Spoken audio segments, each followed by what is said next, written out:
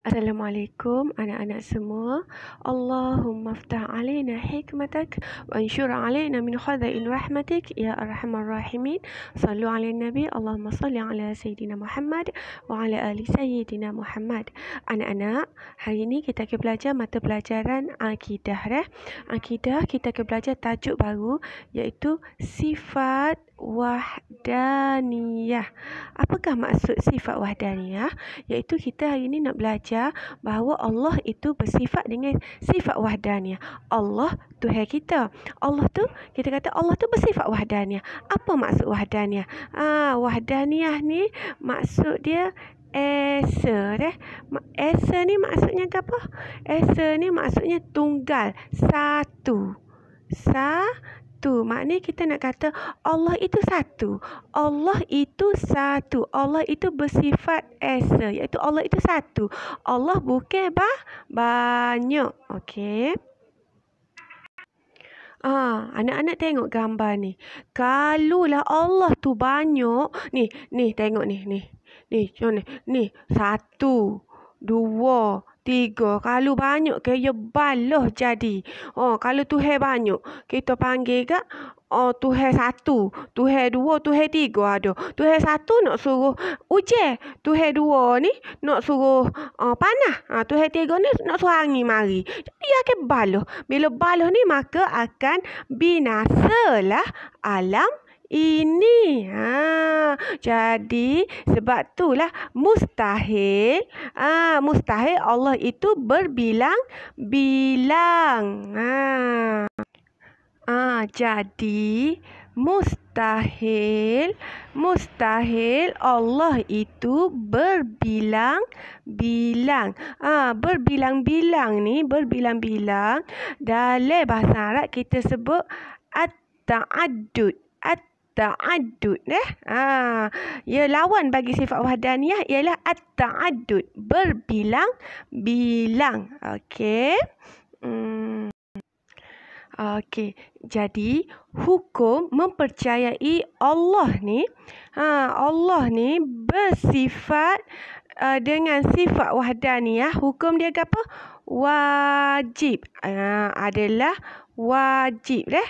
Wah wajib wajib kita sebagai orang Islam ni uh, Yakin, yakin. Percaya ni kita yakin dah bahawa Allah tu betul-betul bersifat dengan wahdaniyah. Maksudnya Allah itu Maha Esa, tunggal dah. Ah, menunjukkan Allah ni Maha Agung lagi Maha Sempurna dah. Kalau Allah tu satu, ada dua, ada tiga, maknanya Allah tu lemah lah. Duk berebut lah ke? Ah, Okey anak-anak, hari ni setakat ni dulu pembelajaran kita.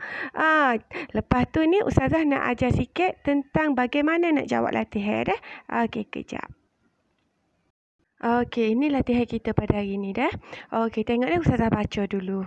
Untuk ramai waktu pahal bahasa Jawi kan, tulisan Jawi. Okey, tengok ni. Uh, bentar dah. Ha, ni, tengok ni.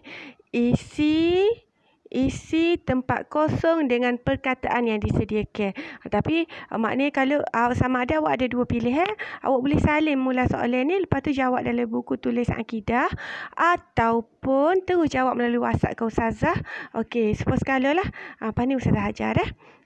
Okey, cara dia gini dah. Okey, ni tengok ni. Kalian pertama ni, ni apa ni? Binasalah. Binasalah. Ni esa ni perselisihan. Ni wajib. Ni berbilang-bilang. Ni mustahil. Okey. Lepas tu tengok ni soalan dia. Tengok ni. Allah itu bersifat gapo? Sekiranya Allah Kejap eh. Sekiranya Allah. Uh, ni tengok ni. Sekiranya Allah. Gapa? Sudah tentu wujud. Uh, gapa? Pendapat dalam mentadbir alam ini. Kesannya akan. Uh, gapa nombor empat tu. Alam ini. Nombor lima. Maka. Ha, bagi Allah itu banyak. Sebagai umat Islam, Kita, ha, apa nama ni? Percaya Allah itu Esa. Ha, eh? Okey. Lepas tu, okey. Nak jawab tu, contoh saya bagi nombor satu dah. Allah itu bersifat ke apa? Ha, kalau awak kata Allah itu bersifat, ha, eh, saya bagi contoh dah. Ni jawapan dia. Allah itu bersifat Esa. Jadi Esa tu tulis di Esa ni nombor satu. Ha, dah. Okey, nombor dua, sekiranya Allah. Ha. Awak tengok, sekiranya Allah ke apa? Ha, okey dah. Okey, lepas tu Ustazah tunggu jawapan awak. Siapa-siapa salah nanti Ustazah akan betul dan Ustazah akan tergekel balik dah. Apa awak salah dah. Okey anak-anak. Uh, semoga pembelajaran kita pada hari ini diberkati dan diredai Allah. InsyaAllah. Amin. Uh, kita jumpa lagi esok dah insyaallah. Sallu ala nabi sallallahu ala sayyidina muhammad. Assalamualaikum